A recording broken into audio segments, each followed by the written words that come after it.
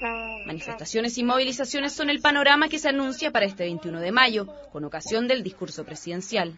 La agrupación Mesa Social para un Nuevo Chile hizo un llamado para marchar en Valparaíso a todos los sindicatos y agrupaciones sociales. Su objetivo es demandar el fin de lo que ellos llaman un abuso neoliberal.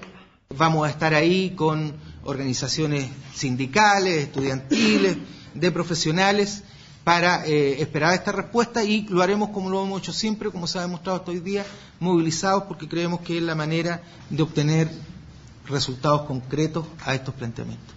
A su vez, los representantes dieron a conocer un petitorio de 10 puntos que para ellos son fundamentales. Entre estos se encuentra el aumento del sueldo mínimo a 250 mil pesos y la creación de un nuevo sistema previsional de propiedad estatal, entre otros.